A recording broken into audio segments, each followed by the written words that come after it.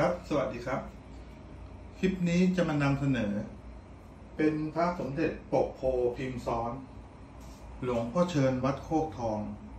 จังหวัดพระนครศรีอยุธยา อันนี้จะเป็นปกโพ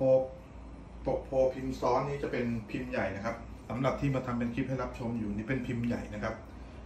ด้านหลังจะเป็นยันเกาะเพชร มีการจัดสร้างขึ้นมาในปี 2 0 536 พิธีเสาห้านะครับ นี่เป็นพิมพ์ใหญ่นะครับ ด้านหลังนะครับ พิธีเสาห้าปี 2536 พระสมเด็จปกโพพิมพ์ซ้อน นี่นะครับ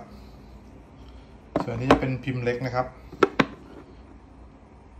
นี่เป็นพิมพ์เล็กครับ พระ สมเด็จปกโพพิมพ์ซ้อน พิธีเสาห้าหลวงพ่อเชิญวัดโคกทอง จัดสร้างขึ้นมาในปี 2536 ด้านหลังจะเป็นยันเกาะเพชรนะครับ นะครับสำหรับพิมพ์เล็กนี่ยันเกาะเพชรด้านหลังจะเป็นยันกลับนะครับ แตกต่างจากพิมพ์ใหญ่ แตกต่างจากพิมพ์ใหญ่ตรงที่ลักษณะการปั๊มยันจะกลับหัวขับหางแค่นั้นเองครับ พิมพ์ใหญ่ก็จะปั๊มยันเกาะเพชรตั้งขึ้น ส่วนถ้าเป็นพิมพ์เล็ก ก็จะปั๊มยันเกาะเพชรกลับหัวลงมาด้านล่างนะครับ ข้อแตกต่างของสองพิมพ์นี้ มีตรงจุดนี้เพียงเท่านี้เองนะครับสำหรับพิมพ์เล็กพิมพ์ใหญ่ครับลองเปรียบเทียบให้ดูนะครับ ทั้งสองพิมพ์นะครับนี่ฮะขนาดขององค์พระนะครับ พระสมเด็จ ปกโพพิมพ์ซ้อน หลวงพ่อเชิญนะครับ จัดสร้างในปี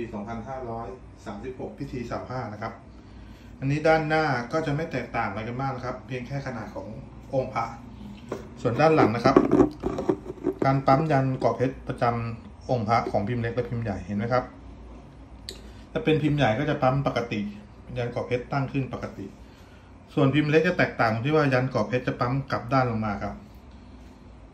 จึงเป็นที่มาที่เรียกกันว่าเป็นพิมพ์เล็กหลังยันกลับคำว่าหลังยันกลับก็คือจะเป็นลักษณะอย่างเงี้ครับนะครับ เล็กกับพิมพ์ใหญ่หรียญจะต้องมีโค้ดกำกับนะครับนะครับ มีโค้ดอยู่นี้นะครับ พิมพ์เล็กครับ พิมพ์ใหญ่ก็มีโค้ดอยู่ตรงนี้นะครับ พระสมเด็จปกโพพิมพ์ซ้อน หลวงพ่อเชิญวัดโคกทอง จังหวัดพระนครศรีอยุธยา มีการจัดสร้างขึ้นมาในปี 2536นะครับจัดสร้างปี 2536 นะครับ พิธีเสาห้า ออกแบบได้สวยงามนะครับสำหรับเหรียญรุ่นนี้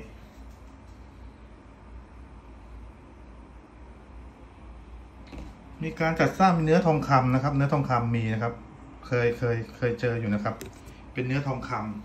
ำเนื้อเงิน เนื้อนวะโลหะ แล้วก็เนื้อทองฝาบาทครับ เท่าที่พบเจอนะครับ แต่ทองคำนี่คิดว่าคงจะหาเจอค่อนข้างยากนะครับ ผมเคยเจอเป็นพิมพ์เล็กโอเคนะครับสำหรับพระสมเด็จปกโพพิมพ์ซ้อนชุดนี้ของหลวงพ่อเชิญ วัดโคกทองจังหวัดพระนครศรีอยุธยา มีการจัดสร้างขึ้นมาในปี 2536 พิธีเสาห้าโอเค งั้นผมขอจบคลิปนี้เพียงเท่านี้นะครับ ขอบคุณมากครับ สวัสดีครับ